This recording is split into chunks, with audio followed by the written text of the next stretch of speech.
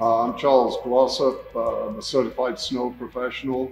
Uh, Alex and I together own Hanco Outdoor Services. I would say basically we're using between 42 and 45 gallons a lane mile. Uh, lane mile is approximately, you know, one acre, plus or minus a few thousand square feet.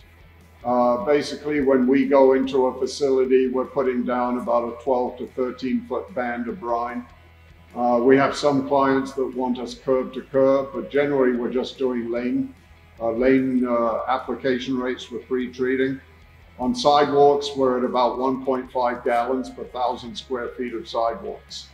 Now on the sidewalks, you could take one of your old sprayer units uh, and just basically measure off a gallon and a half measure out a thousand square feet of sidewalks and make sure that you've got the right volume. That's an easy way to calibrate. That is a great way to get started.